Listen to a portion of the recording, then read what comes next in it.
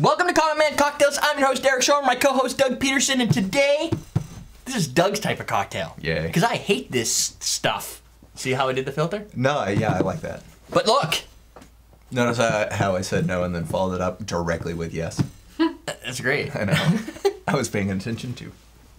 Okay, Double straining. that's nice. Are you excited? No ice shards for you today. Can't we just stir it Yeah, but just in case there's no, there's no. instead of shaking it? stir it. No, no, no, no. We're gonna do all that. You're gonna stir it. There's no shaking. But okay. in case anything shards off, Yeah. we're doing it the proper way, which Okay. I get enough criticism about. Oh, mine almost landed on my laptop. Um, because people are like, oh my god. Oh, we could have put that. We could pour it right in here because we don't need the side, right? Nope. So we'll use that for the uh, the vermouth. So what we're gonna do is we're gonna build this sucker in this glass. We're gonna stir it. It's a dry martini. It's classic. If you don't do it right, people start to bitch, and So do it right. I don't want any of that stuff today. Okay. So what we're gonna do? I've already got that chilling up. Yep. But you want it tomorrow. What? You want it tomorrow. You said you didn't want it today. Oh, What, uh, yeah, tomorrow. I, I have no problem with tomorrow. What gin are you using? Oh, I don't have one. What do you want to use? Oh, you know. One of What you- those back there. What would you like? Oxley? I- no. Isn't this your favorite? You call it an audible now? Is Yeah, this, this is an that's what audible. you? Okay. Well, because I was going to ask you before the show what gin you wanted to use, and then we got talking about who knows what. So, what do you want to use? What would you got? Oxley at Greensmiths. You got Bombay, but now you've had Bombay as a dry martini before. Yeah, so yeah. is that we got Martin Miller? Um, I probably would shy away from standing guard for this one. I would Uh, Blue totally Coat. go with Um, the gin I like. Do you like that one? Oxley's okay. Like the Oxley? yeah. Do you, would you prefer something different? No. We have Go with a, a plethora Yeah. of Vine. gens behind me. You're No, because the one that I not had, I like lacking on more selection. American. Yeah, she, she's Probably thinking New not. Amsterdam. Yeah, New Amsterdam. So, we're gonna do our our dry shade or our, our rinse, and the way we're gonna do that is this. Oh, by the way, fresh, Yeah. because that's the other thing you want to remember is that fortified wine doesn't actually last forever once it's opened. No, it definitely has a shelf life. And in order to make this as Isn't pristine, just like just a few weeks? I don't really I know. know- I leave mine for Brad, Brad from YouTube. knows. Oh, yeah, Yeah, yeah, he He, know. he- I know he commented. Getty you. 05, how long does an open vermouth last? Because I let mine last forever. You let everything last forever. I do. Everything is all. Everything Wait, is who would use that much vermouth? Nobody I would. mean, Every- back in um, the day, I think they now, I, yeah, A bar. right? Because that's all they had. Right. So I'm going to do. What am I going to do? I'm going to do a half ounce. You That think that's a good lot enough? of vermouth. Yeah. Yeah, because I'm going to basically have this, and we're going to need to figure out how to use all that vermouth. We're going to pour it over the ice. Yeah. Now we're going to stir it a little bit. Yeah. Can't really get my spoon in there though. No. There we go. Oh. Look at that. Yeah. You can even see it swirling along the edges. I know. I like it. Oh, it's hot. It is hot. So now we're gonna get rid of it. Okay. So we bought this bottle in order to rinse down ice. Yeah. And the goal here is to have a hint. Why do I have a shot glass here? A hint of dryness, but I'm not a huge fan of vermouth. It could be way overdone. Yep. But you still need your fresh vermouth. Yep. You still need some gin. We're gonna do what? Two ounces, two and a half ounces? Two, two and a half. Two and a half. Solid. Three ounce. Three ounce cocktail. Yeah. Nice. Two. Ready? Yes. And a half. That's like not not exactly three. Right. And we're using Oxley. This is a higher end gin, so if you're a big Tanqueray fan, you could probably use your Tang if you want to. But If you're into piney gin. so we're gonna give this, let's say, 16 to 18 turns. Let's say. Are you counting? I started Yeah. to and then I stopped. I'm done. I'll go back a couple got on this direction. You I want- literally lost count. The goal is you really want it to be uh, nice and cold because this drink is like all about that chill. Give me that. We could dump that right over this ice because it's just gonna keep the ice longer. okay. Yeah, I'm mixing it in there. Boom! Frosty beverage. I like it. Frosty beverage. Now, oh, do you want to set up our? How do you do your garnish? Do you do one, two. I mean, one or three. I like three. I like a lot of olives. Okay. You know, it's like a snack with my cocktail. All right. Yeah. That's fair. Yeah. This is really boring looking. Look at that. You're a master. master. So you have you have these things that have jalapenos poking out of them, or I'm whatever that is. Oh my gosh, you're gonna eat that raw? yeah, I gotta I'm cook it gonna first. cook it first. Oh, smells like gin. Give this a try. It's good.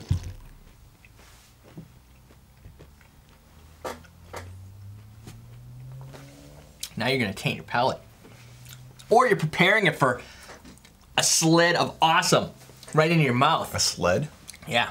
It's like, you know those really nice sleds, those like the plastic ones that sled really fast in the ice, on the snow, when they get that nice ice coating on the snow? That's the stuff right there. You want to be able to slide really quick. What do you think? It's good. You Good know, gin. That's good gin for a martini. Straight up. damn straight. This drink actually makes me. I could drink this. I if the thing is, if I ordered it, I need to have that. Yeah. right? So if I go to the if you if you go, this is the best martini dry you've ever had, and by the way, not even that dry. That's why I like it. I don't like the fortified wine aftertaste. None of that really comes in here. There's a slight dryness, but you don't get the dryness of wine. It's it's like a just a slightly off dry uh, flavor on top of a really crisp, clean, clear gin without too too much juniper attack. You just want a little extra dry I just wanted to to taste qualify the vermouth. and see is, if, it's actually really good. is it's it decent. Decent vermouth. Gallo? how much did you pay for that? I don't know. It's like four bucks. Cheaper than that. That's like fifty. So the problem is if you want to reproduce this and you go to a bar, you have no idea if you're going to get that unless they have it.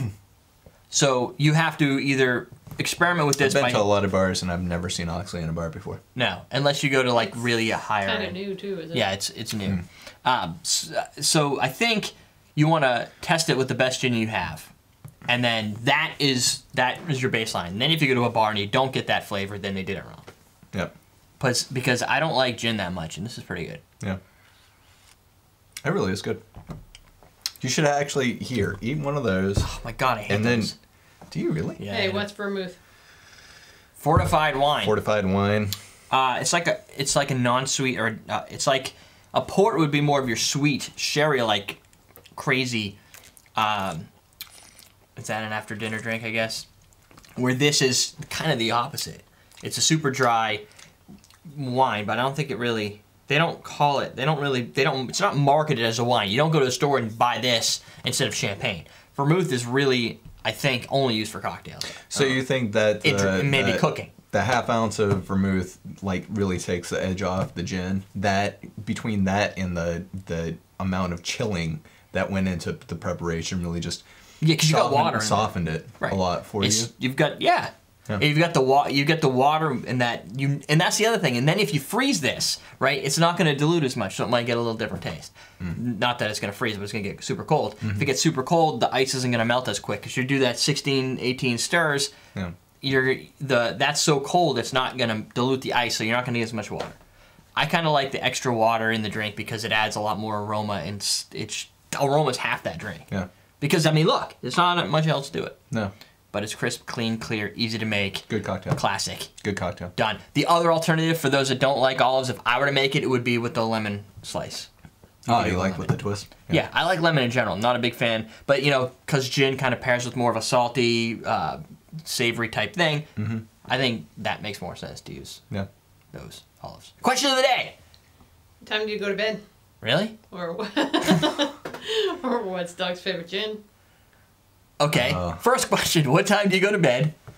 And so I had criticisms like, "Oh, you must be out of questions." No, these are what people are asking me.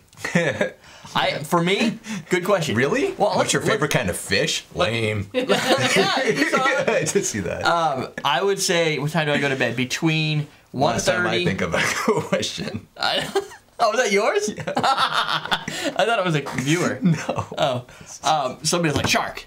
Um, I think one thirty to two, ish. Weekend Yeah. sometimes two thirty. What time do you go to bed? Ten. I, you know, honestly, I would like to go to bed at ten, but my body shuts down like around midnight-ish. Yeah, see, I don't, I can't really fall asleep very easy, so I'm usually, I, I can, if I start the bedtime ritual, if I go to bed at like ten, I'll just sit and stare at the wall until like one. Yeah. So I'm like, why am I doing that when I can go downstairs and watch Pawn Stars?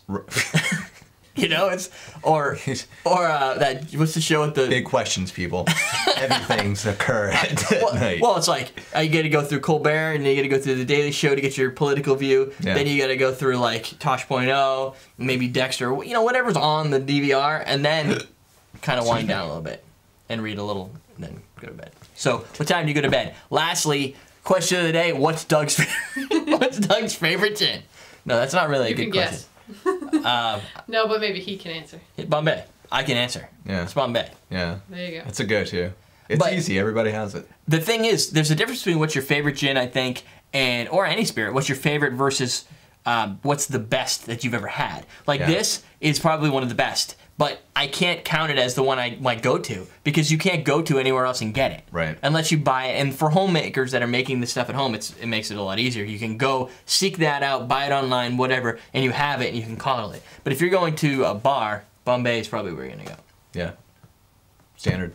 Uh, but of the the Green Hook Gin Green Hook Smiths. Gin Smiths. That's his new favorite. That's good. I don't Yeah. know where you're gonna get that, but I I'm, don't know either. uh, we gotta look around. Here. So Google it. Every Friday. Google it and you find it on our show every Friday. Yeah. Yeah.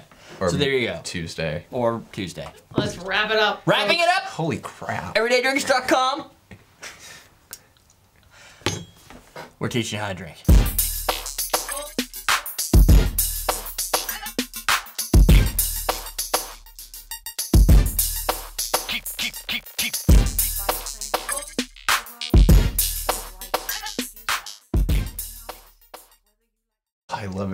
3D. Sweet.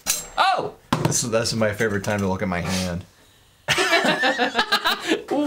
What's wrong? Uh, I put my 3D glasses on. Oh, really? yeah, great. it means I can see. As what- opposed to shit kid- being blurry. That's what the kids don't understand. They like put something Oh. on the window and face it out, and they're like, "Look, mom, 3D." Like, Like, no, no, 3D 3D. is real life. Yeah.